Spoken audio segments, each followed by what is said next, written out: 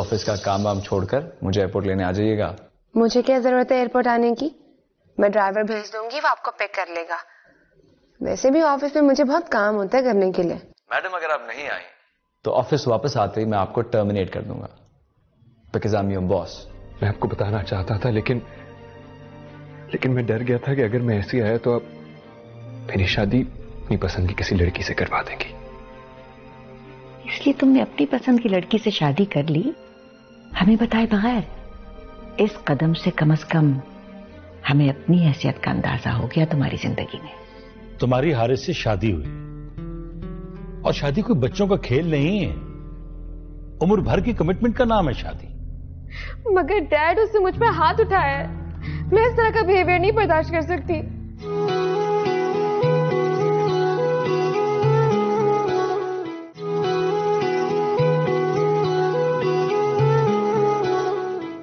थे तो बार बार फ़ोन करके पूछते थे, मैं इस शॉप पे हूँ, तुम्हारे लिए क्या लूँ, क्या खरीदूं? और अब खाली हाथ ही आ गए। यार देखो, मैंने सोचा कि मेरी बेचारी बीवी सीधी सादी सी, उसे इन दुनियावी चीज़ों से क्या लेना? जब वो मेरी कंपनी की भलाई के लिए मेरे साथ इंग्लैंड जाना मिस कर सकती है तो आई एम श्योर मेरे पैसे बचाने के लिए तो मुझसे यही कहती। आप ये सारी चीज़ें क्यों लाए? इसकी क्या ज़रूरत थी? आप खुद ही आ गए। मेरे लिए यही काफ़ी है। ये तो बड़ा अच्छा बहाना है कुछ ना लेके आने का। लेकिन आइंदा आप सोचिएगा भी मत कि मैं आपको कहीं अकेले जाने दूँगी।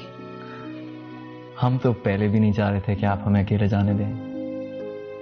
लेकिन आपकी नज़रें तो हमारे प्रोजेक्ट पे थी। मेरे पापा को इम्प्रेस करके मुझसे मेरा प्रोजेक्ट छीन लिया। तो आपने तो बदला ले लिया ना? कुछ ना लाके? बदला तो नहीं लिया।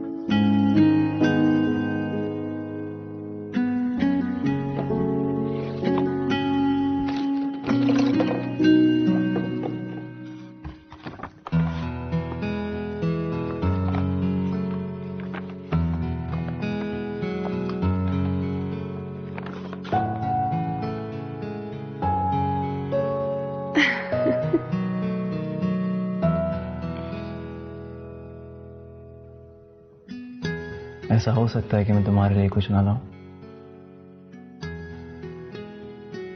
पसंद आई?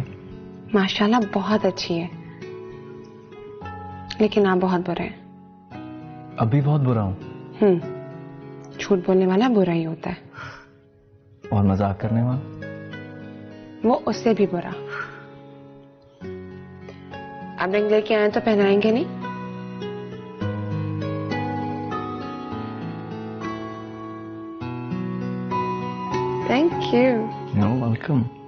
हारिस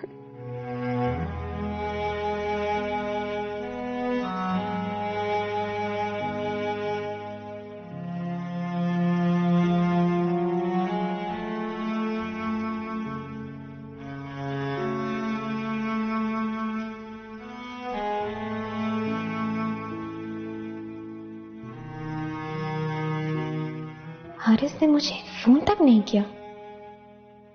बस यही थी इसकी मोहब्बत।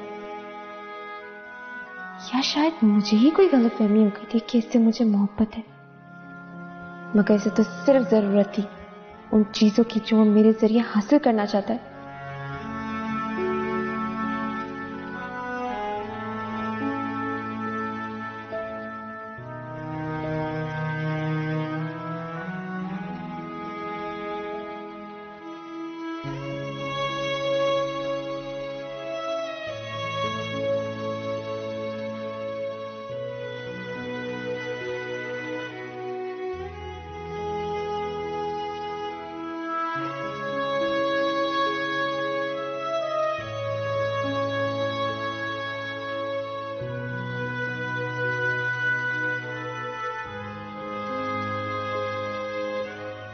कश्यप इतना मत सोचो बेटा। बीमार पड़ जाओगी। इसके अलावा मैं कर भी क्या सकती हूँ, मॉम? जब तक वो अपनी बातों से मुझे टॉर्चर करता रहा, मैं ये सोचकर बर्दाश्त करती रही कि मेरी मोहब्बत, मेरी अपनी पसंद है वो। अगर किसी से शिकायत करूँ भी तो क्या करूँ? लेकिन जब उसने मुझ पर हाथ उठाया मुझसे बर्दाश्त नहीं हुआ। बार बार जब उस बात का मुझे ख्याल आता है तो दिल चाहता खुद को कुछ करूँ या मैं उसको मार डालूं? ये बर्दाश्त करने वाली बात थी भी नहीं, बेटा। तुमने बहुत अच्छा किया जो तुम यहाँ चली आई हमारे पास। अब जब तक उसे अपनी गलती का एहसास नहीं हो जाता, तुम वापस नहीं जाओगी।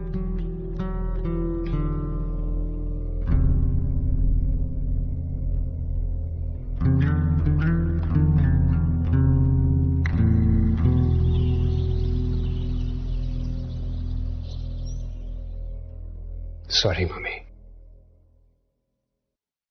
सॉरी डैडी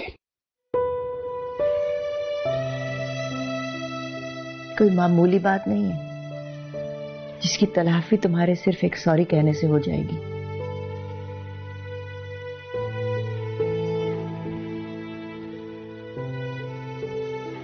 इतनी टेंशन लोगी शीरी तो खुद को और ज़्यादा बीमार कर लोगी। बस अब इसे माफ़ कर दो। माफ़ कर दूँ। हमने सोचा था कि हमारा बेटा बाहर पढ़ने जा रहा है। हमारा सर फखर से बुलंद कर देगा। ये फखर दिया इसने। हमें अपनी नज़रों में गिरा दिया। इतनी अहमियत नहीं है उसके दिल में हमारी कि अपनी शादी के बारे में हमें बता देता। मैं आपसे इतनी बार अपोलोजाइज तो कर चुका हूँ ना। अब इस बात को इतना बड़ा इशू क्यों बना रही है?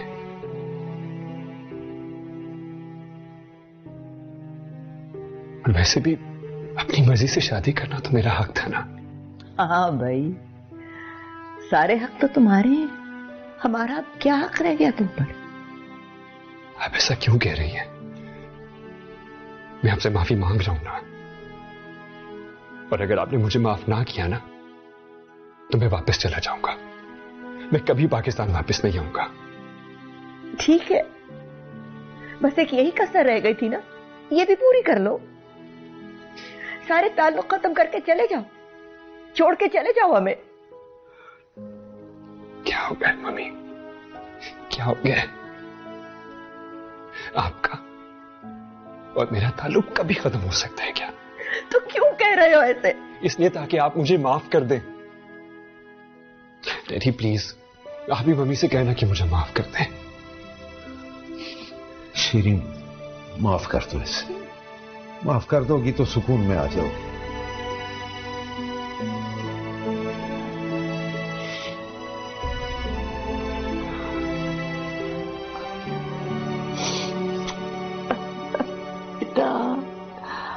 बाप का तो काम ही औलाद को माफ़ करना होता है। चाहे औलाद उन्हें कितनी बड़ी खुशी से महरूम क्यों ना कर दे।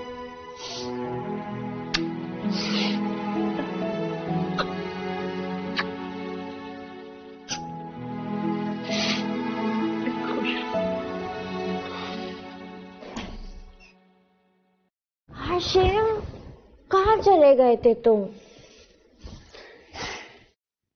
मम्मी डैडी के पास बैठा हुआ था। इतनी देर से यहाँ अकेली बैठे हो तो मम्मी डैडी के पास आराम से बैठे हुए हो। ऑफ़ कोर्स पर यार इतने अरसे बाद घर वापस आया हूँ। और तुम्हें पता है मम्मी मुझसे कितना नाराज़ है। बस उन्हीं को मनाने की कोशिश कर रहा था। मान गई वो? हाँ। मम्मी ने मुझे माफ़ कर दिया है। बस अब तुम्हें भी कोशिश करनी है कि मम्मी तुम्हें दिल से कबूल कर ले। क्या मतलब? तुम्हें माफ़ कर दिया है तो मुझे भी कबूल कर लेना चाहिए। ऑफ़ कोर्स कर लेंगी फरियाद। बस तुम्हें थोड़ी सी एफर्ट करनी होगी। हाशिम मैं इतनी दूर से अपनी कंट्री छोड़ के अपने पेरेंट्स छोड़ के इसलिए नहीं आई हूँ कि मैं कोशिश करूँ। मुझे इतनी भूख भी लग रही है। प्लीज़ मेरे लिए कुछ ब्रेकफास्ट तो मंगाओ। आ रहे मैंने कहा है गफूर से बुला रहे नाश्ता।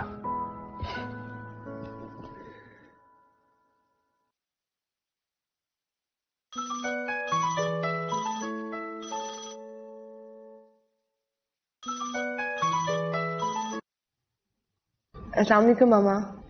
कैसी हैं आप? और काशिफ कैसी है? ज़्यादा ठीक नहीं है बेटा। बस हर वक्त सोचती रहती है। मामा आप उसको समझाएँ। इस तरह तो बीमार हो जाएगी। बेटा मैं तो बहुत परेशान हूँ उसकी वजह से। मामा आप परेशान मत हो। अल्लाह ताला ज़रूर कोई रास्ता निकालेगा। इंशाल्लाह बेटा तुम आज शाम को आ सकती हो? नहीं मामा एक्चुअली अंकल के दोस्त और उनकी फैमिली डिनर पर आ रहे हैं। खैरियत? आपको कोई काम था? हाँ असल में मैं चाह रही थी कि तुम और रोहान हारिस को समझाओ। तुम्हारे पापा तो बात कर चुके हैं उसके पेरेंट्स से। लेकिन वो सारा इल्ज़ाम कश्यप पर डाल रहे हैं। अपने बेटे की गलती मानने के लिए तो वो तैयार ही नहीं। मामा मैंने कहा है ना क्या परेशान मत हो। अल्लाह सब बेहतर कर देगा इंशाल्लाह और मैं कश्यप को समझाऊँगी। ठीक है बेटा। जी मामा ठीक है। ओके अल्लाह हाफिज। खुदा हाफिज।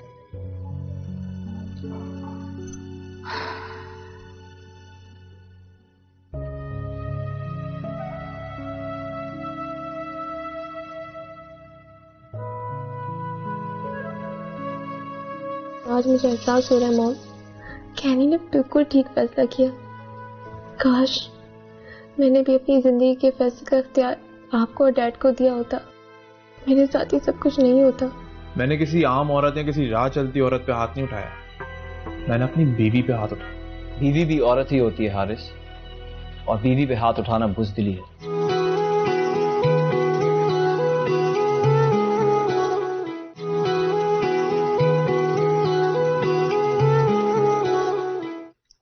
तमीज और तहजीब नहीं है इस लड़की में भाई। जब से आई है, आपने देखा है? कैसे अजीब और गरीब कपड़े पहन के घूमती रहती है। नाइटी में कमरे से निकल आती है। कैसी बातें बनाते होंगे घर के सारे मुलाजिम। हद है भाई। मॉडर्न और लिबरल होने का ये मतलब तो नहीं है कि इंसान ऐसे कपड़े पहनकर घूमे। बाबा, बाहर पली बढ़ी है।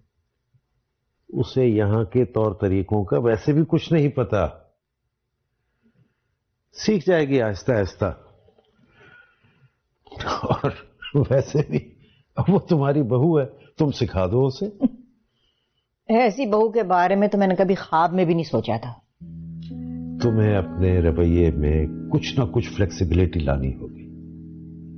वरना तुम उसे दिल से कभी भी कबूल नहीं कर पाओगी। बस सारी फ्लेक्सिबिलिटी मुझे ही दिखानी होगी। वो कुछ नहीं करेगी। देख लीजिएगा। आप पहले तुम कोशिश तो करो ना।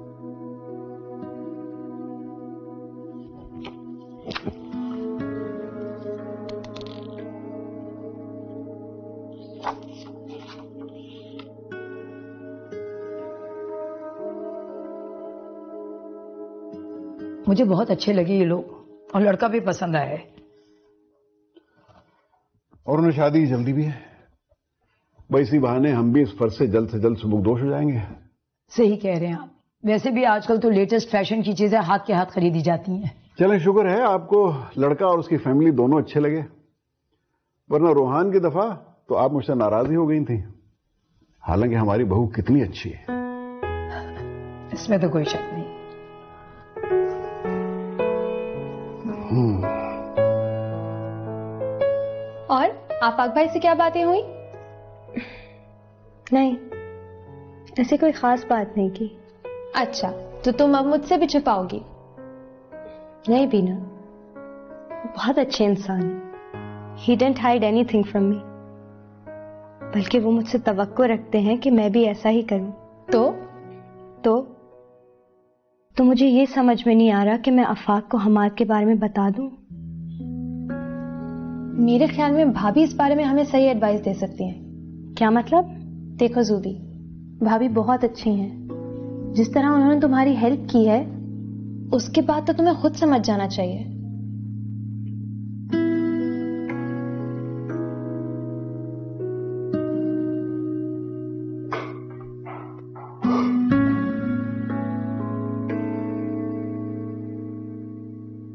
गफूर मुझे भी एक कप चाय पिला दो। बेटा फरियाल कहाँ है? मम्मी सो रही है अभी। हाशिम उसे समझाओ कि घर में रहने के क्या आदाब होते हैं। कमरे से निकले तो जरा ढंग के कपड़े पहन के निकले। जी समझा दूँगा। हाँ वो अमजद और हुमा कई बार कह चुके हैं कि फरियाल को लेकर उनके घर आए। तो इस वीकेंड पे चले? अच्छा फैमिली गेट टुगेदर रहेगा। हाँ ठीक है। वैसे एनी से मेरी मुलाकात हुई थी एयरपोर्ट पे। अपने हस्बैंड को लेने आई हुई थी। कोइंसिडेंटली उसका हस्बैंड मेरा बहुत ही अच्छा दोस्त निकला। रूममेट था मेरा इंग्लैंड में। रोहान अक्सर मैं आपको फ़ोन पे उसके बारे में बताया करता था? अच्छा अच्छा अच्छा अच्छा। बहुत अच्छा लड़का है। माशाल्लाह दोनों एक साथ बहुत अच्छे लगते हैं।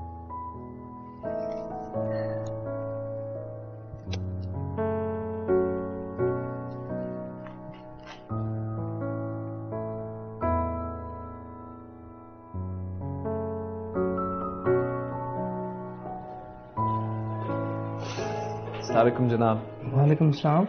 हमें हारिस साहब से मिलना है। आपका नाम? रूहान। एक मिनट।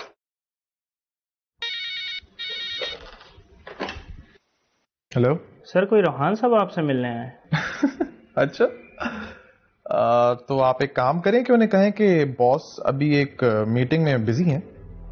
पंद्रह मिनट उन्हें वेट कराएँ और पंद्रह मिनट बाद उन्हें भेज दीजिएगा अंदर। ठीक है सर। वो मीटिंग में आप थोड़ा वेट कीजिए। शुक्रिया।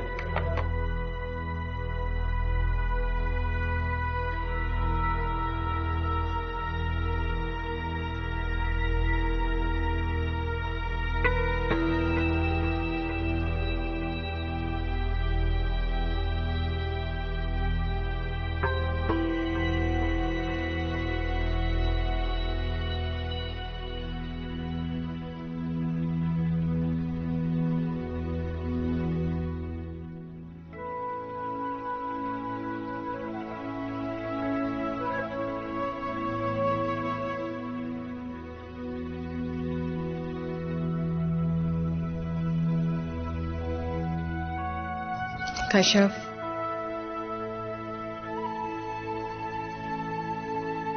फ़ोन आया हारिस का नहीं मॉम और मुझे इसके फ़ोन का इंतज़ार भी नहीं है।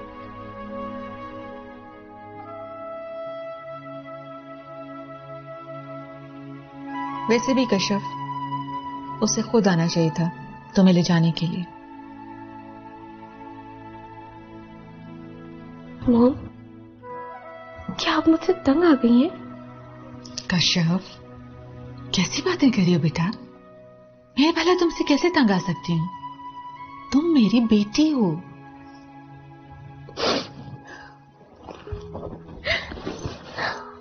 लेकिन मैंने आप लोगों को बहुत सताया आप लोगों ने मेरी शादी उस इंसान से की जिसको मैंने चाहा सब कुछ दिया जो मैंने मांगा। लेकिन फिर भी मैं अपने घर में ना बच सकी मॉम मैं बहुत बुरी हूँ। I am sorry so sorry Kashyap बेटा क्यों इस तरह की बातें कर रही हो? मैंने और तुम्हारे डैड ने कभी ऐसा नहीं सोचा।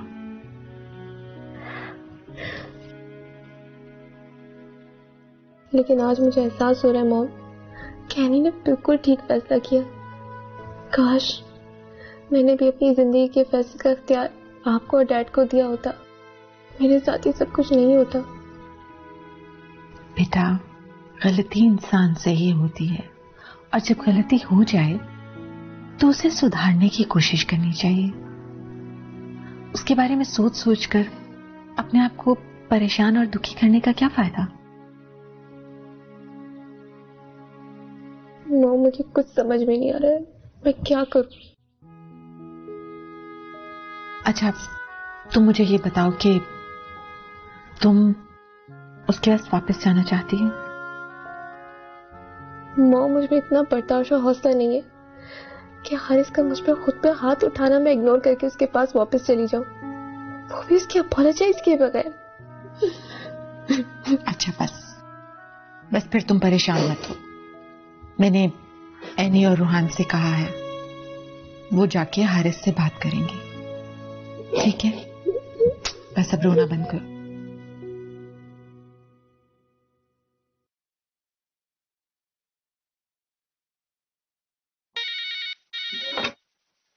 जी sir. Okay sir. Excuse me आप लोग जा सकते हैं। थैंक यू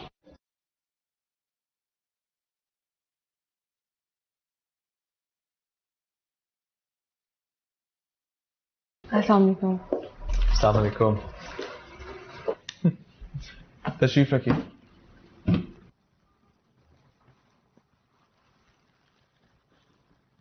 सॉरी मैं जरा एक मीटिंग में बिज़ी था इस वजह से आप लोग को वेट करना पड़ा। कोई बात नहीं। ज़ाहिर बात है इतना बड़ा बिज़नेस रन कर रहे हो। बिज़ी तो रहते ही होगे। खैरियत थी? यहाँ कैसे?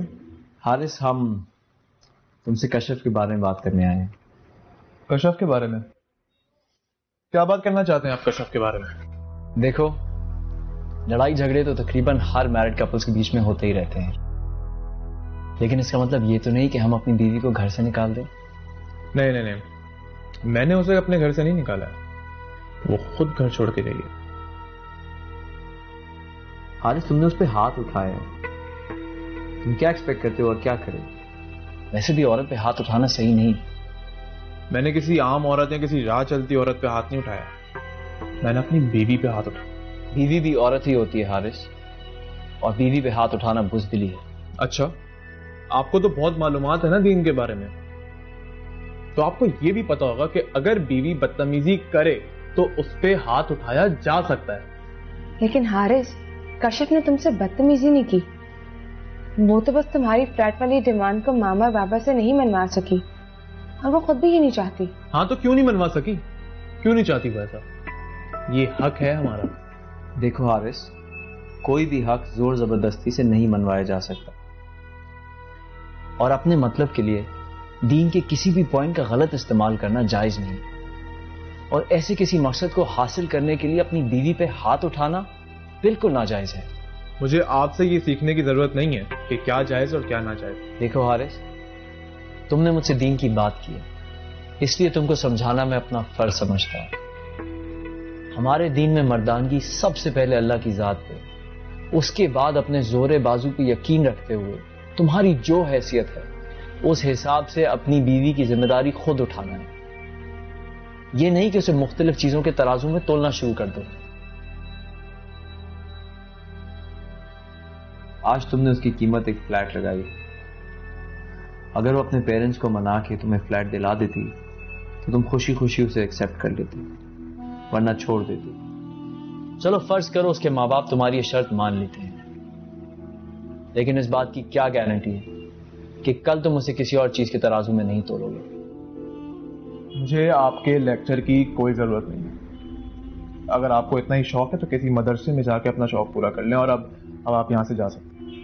चलिए रोहान यहाँ से हम इसको नहीं समझा सकते Haris I said get out. And don't you dare come at my office again.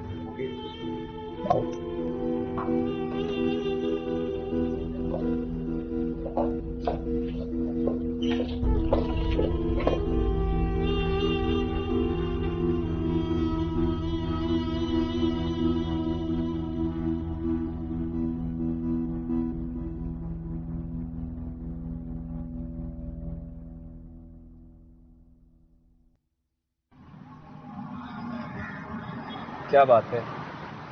तुम्हारा मूड क्यों ऑफ़ है? मैंने आपसे कहा था ना रोहान हारिस ने जिस तरह डिनर वाले दिन रूडली बिहेव किया था वो आज भी वैसा ही करेगा वो हमारी कोई बात नहीं समझेगा। कोई बात नहीं। हमने कम से कम कोशिश तो की ना। और आंटी ने हमें जो रिस्पॉन्सिबिलिटी दी थी हमने उसको भी पूरा कर दिया। मुझे तो इस बात का अंदाज़ा है इनका कि वो इतनी बुरी तरह से हमारे इंसल्ट करके हमें ऑफ़िस ही निकाल देगा। लेकिन रोहान, मैंने थैंकफुल थी हो आपने उसे मेरी बहन की वजह से बर्दाश्त किया ना। गुरसलैन किसी अपने की खातिर अगर अपनी अना की कुर्बानी देनी पड़ जाए ना तो कोई हर्ज नहीं होता।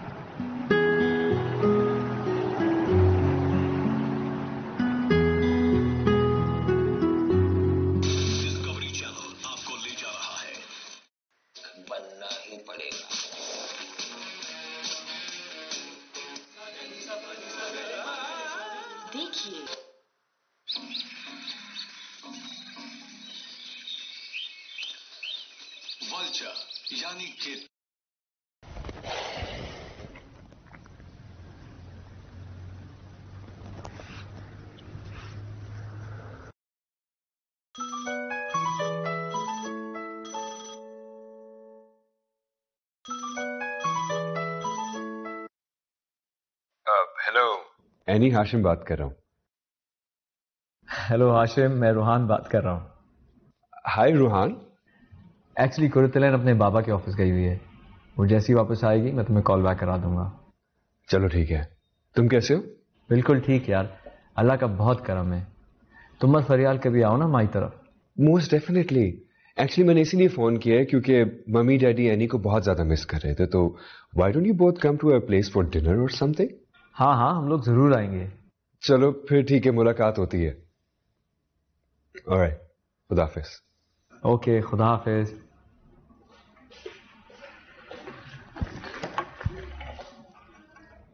हाशिम का फ़ोन आया था। खैरियत? भाई वो ये कह रहा था कि तुम्हारे ताए और ताई तुम्हें बहुत याद कर रही हाँ। काफ़ी दिन हो गए ना उन्हें मुझसे मुलाकात ही नहीं हुई। चलेंगे किसी दिन के घर। इस बहाने मेरी भी हाशिम से मुलाकात हो जाएगी। हाँ ज़रूर। कि जब इंसान सच्चे दिल से अपने अल्लाह से तौबा करता है और उस पर शर्मिंदा भी होता है तो अल्लाह तो माफ़ करने वाला है ना? वो अपने बंदों के ऐबों पर पर्दा डालने वाला है। मेरी समझ में नहीं आता कि एनी जैसी लड़की को रिजेक्ट करके तुमने इसका इंतखाब किया है।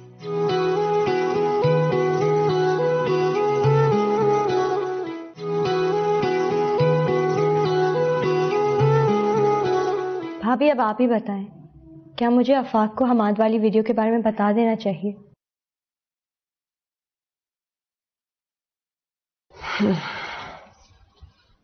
देखो जोबिया तुमसे गलती हुई है और तुम्हें इस बात का एहसास भी है। और तुम शर्मिंदा भी हो। तो बस ठीक है ना इतना? बाकी बातों को भूल जाओ। क्या मतलब?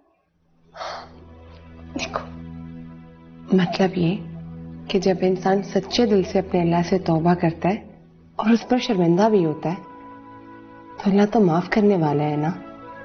वो अपने बंदों के ऐबों पर पर्दा डालने वाला है।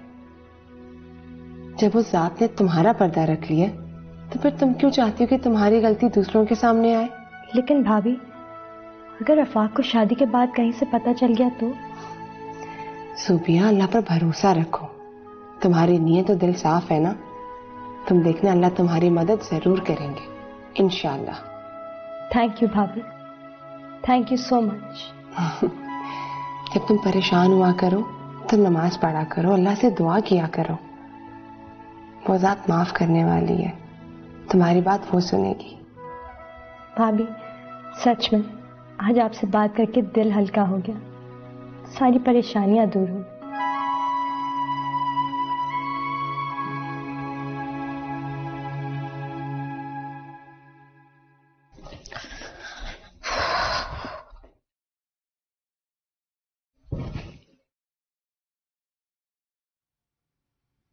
इज़ एवरीथिंग ओके फॉर यार हाशिम एक बात बताओ। पूछो। मुझे यहाँ किसकी मर्ज़ी से रहना है? क्या मतलब? तुम्हारी मम्मी की मर्ज़ी से तुम्हारी मर्ज़ी से या फिर अपनी मर्ज़ी से? कोर्स पर यार अपनी मर्ज़ी से ज़िंदगी गुजारनी है तुमने। I'm afraid, Hashim, your mother will never let that happen. Mummy ने कुछ कहा तुमसे? हमेशा मेरे कपड़ों से एतराज़ होता है। आई मीन यू नो मैं हमेशा ऐसे कपड़े पहनती आई हूँ यहाँ तक कि तुमने मुझे पसंद भी ऐसे ही कपड़ों में किया था। डोंट वरी मैं मम्मी से बात करूँगा समझा दूँगा उन्हें। हाशिम जल्दी बात करना आई थिंक तुम्हारी मम्मी मुझे पागल कर देंगी। Why are you talking like that? मैं मम्मी से बात करूँगा।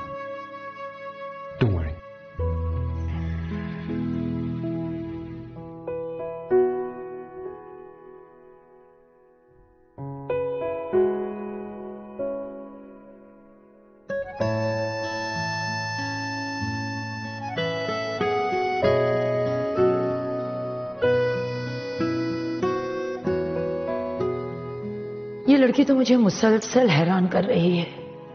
मेरी सारी नाराजगियों के बावजूद, ये कभी मेरी या मेरी बच्चियों के खिलाफ कोई नेगेटिव बात ही नहीं करती। आखिर क्यों?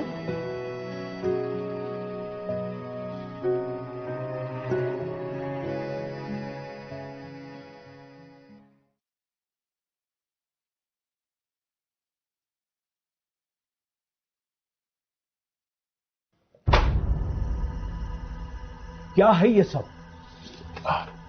डैड मैं मैं खुद बहुत हैरान हूँ कि हमारा कंसाइनमेंट आखिर रिजेक्ट क्यों हो गया? ये सब तुम्हारी नालायकी और बेवकूफ़ी की वजह से हुआ है। तुम्हें अभी तक बिज़नेस हैंडल करना ही नहीं आया। डैड इसमें मेरी क्या गलती है? This is not fair what do you mean by not fair अगर तुम खुद जाकर कंपनी में माल चेक करते तो हमें यह मुश्किल का सामना नहीं करना पड़ता। जानते हो हमारा कंसाइनमेंट इस तरह रिजेक्ट हो जाना कंपनी के लिए कितना बड़ा सेटबैक है? कंपनी की साख कमज़ोर होती है। बड़े ग्रुप ऑफ़ कंपनीज़ हमसे डील करना बंद कर देंगे। डैड मैं आपकी बात समझ रहा हूँ लेकिन अब आप बताएँ मैं क्या करूँ? दावर ग्रुप ऑफ़ कंपनीज़ ने कॉन्ट्रैक्ट किसी और कंपनी को दे दिया। अब देखो बेटा हारिस हमें दोबारा हिम्मत करना होगी। कुछ ना कुछ करना होगा वरना बहुत बड़ा नुकसान हो सकता है। अगर डैड मैंने मैंने पता करवाया है अभी भी कुछ किया जा सकता है। दावर ग्रुप के एमडी रोहान के फादर के बहुत अच्छे दोस्त हैं। और रोहान के फादर इस सिलसिले में हमारी मदद कर सकते हैं। तो ऐसा करो कि रोहान से बात करो। मुझे पूरा यकीन है वो हमारी मदद ज़रूर करेगा। रोहान से? सॉरी डैड मैं रोहान से बात नहीं करूँगा। क्यों नहीं कर सकते? डैड डैड आपको तो पता है मैं मैं रोहान को कहाँ जानता हूँ इतना? मैं उससे हार्डली एक या दो दफ़ा मिला। कश्यप भी अपने पेरेंट्स के यहाँ गई हुई और आपको पता है क्या पोजीशन है? देखो आरिस, मैं कुछ नहीं जानता। तुम अपने पर्सनल मैटर्स को बिज़नेस से दूर ही रखो।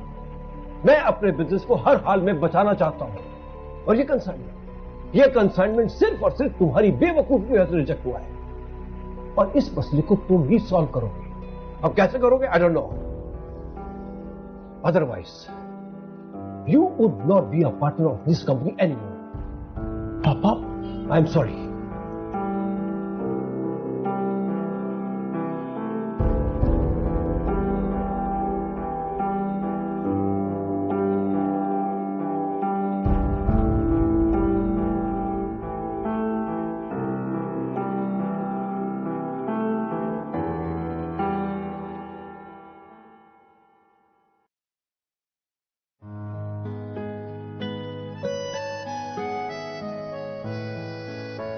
क्या सोच रही है हमारी बेगम साहबा?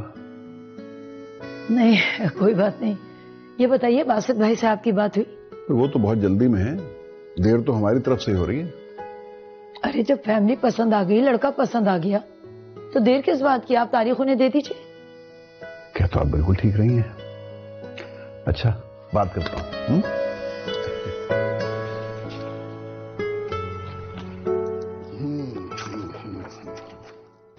मैंने तो सिर्फ़ उससे कपड़ों की बात की थी। मैंने कहा था अगर उसके पास ढंग के कपड़े नहीं हैं तो मैं तुम्हें शॉपिंग करवा देती हूँ। मम्मी मैंने आपसे कहा था ना कि मैं उसे खुद समझा दूँगा। अभी उसे इस माहौल की आदत नहीं है। आहिस्ता आहिस्ता सब समझ जाएगी। मैंने भी उससे बात की हुई है। मुझे तो नहीं लगता कि वो कुछ समझेगी। मम्मी उसे थोड़ा सा वक्त तो दें। अपने आप को इस नए माहौल में एडजस्ट कर लेगी। आप इतना परेशान क्यों हो रही हैं? मेरी समझ में नहीं आता कि एनी जैसी लड़की को रिजेक्ट करके तुमने इसका इंतखाब किया है। मम्मी जो होना था वो हो चुका है। प्लीज़ छोड़े इन बातों को। हाशिम चले? हाँ चलो फिर यार। कहाँ जा रहे हो तुम लोग? मम्मी हम लोग डिनर पे जा रहे हैं। तो बेटा कम से कम मुझे इन्फॉर्म तो कर देते। मैंने तो तुम्हारी पसंद की डिशेस बनवाई हैं। आई एम रियली सॉरी मुझे बिल्कुल ख्याल नहीं रहा let's go. Yeah, let's go.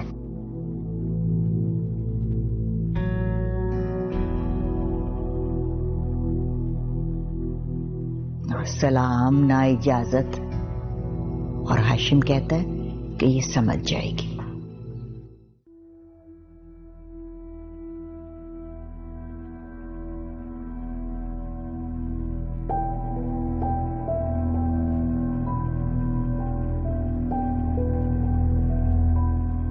I said, get out. And don't you dare come back in office again. ये कंसाइनमेंट सिर्फ़ और सिर्फ़ तुम्हारी बेवकूफ़ी की वजह से रिजेक्ट हुआ है और इस मसले को तुम ही सॉल्व करोगे अब कैसे करोगे I don't no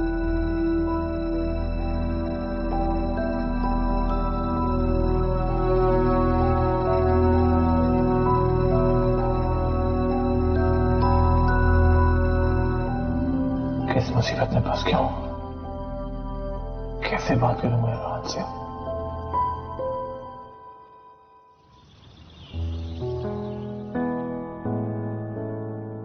कुरतनैन ji aunty. यहाँ हो बेटा?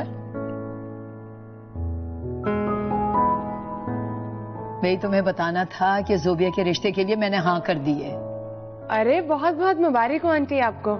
ये तो बड़ी अच्छी बात है। और तुम्हें भी बहुत बहुत मुबारक हो। खैर मुबारक। इन दोनों को मैं ये ज्वेलरी दिखा रही हूँ कि आधा आधा बांट लें। और ये देखो ये वाला हार। इसको ऐसे ही पॉलिश करवा लें या ये तुड़वाएँ। मम्मी ये कंगन मेरे हैं ना? छोड़ दो इन कंगन को किसी को नहीं मिलेंगे ये। पहले शादी मेरी है तो ये कंगन भी मेरे? क्यों मॉम? किसी को भी नहीं मिलेंगे ये कंगन। और ये देखो आंटी मुझे लगता है कि आप इसी को पॉलिश करवा लें इसका डिज़ाइन भी बहुत यूनिक है। और बाकी आप जुबिया से पूछने इसे क्या पसंद है? ये तुम ठीक कह रही हो। और बेटा सुनो सारी शादी की अरेंजमेंट तुम्ही को करनी है। मैं बाजारों के चक्कर नहीं लगा सकती। बीपी हाई हो जाता है मेरा। आंटी आप बिल्कुल भी फ़िक्र नहीं करें। मैं सब देख लूँगी। लेकिन भाभी आप तो ऑफ़िस जाते हैं। तो क्या हुआ? मैं ऑफ़िस से ऑफ़ ले लूँगी? Um, आंटी मैं साबर चाचा के साथ खाना बनवा रही हूँ। ठीक है मैं आती हूँ। अच्छा ठीक है। मॉम ये कंगन मेरे क्यों नहीं हो सकते? इसलिए कि ये मेरी बहू के लिए है। भाई तुम दोनों इसमें से बांट लो ना जिसको जो चाहिए। मैं तुम्हें नए बनवा दूँगी बेटा।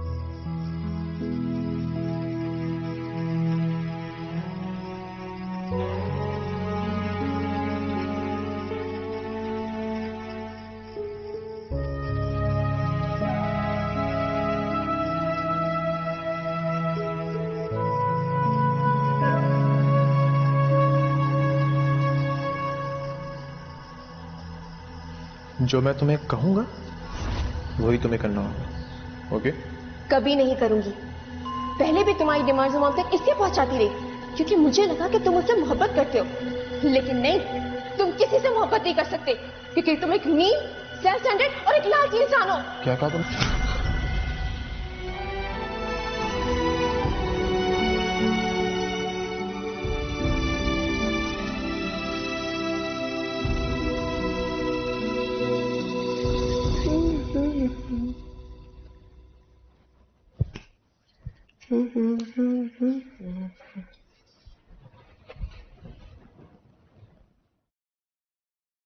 क्या बात है? बड़ी खुश लग रही हो। बस है खुशी की बात। Well done why don't you share it with me पता है रोहान आंटी की नाराज़गी आहिस्ता आहिस्ता कम हो रही है। अच्छा तुम्हें कैसे पता? कमाल करते हैं आप। जब हम दूसरों की नाराज़गी को खुद के लिए महसूस कर सकते हैं तो दूसरों की अपनाइत को भी तो महसूस कर सकते हैं ना? तो आपने मम्मी की अपनाइत को अपने लिए महसूस कर ही दिया? जी बिल्कुल।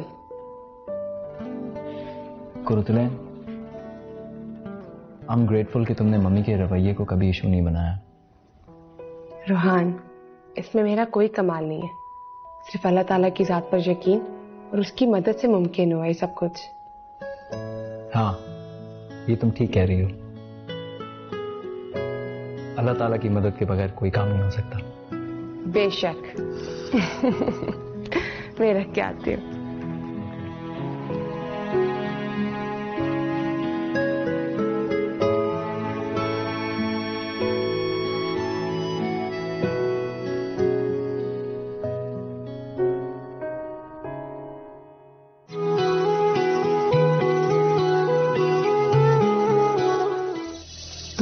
रोहान गए थे ना हारिस के पास?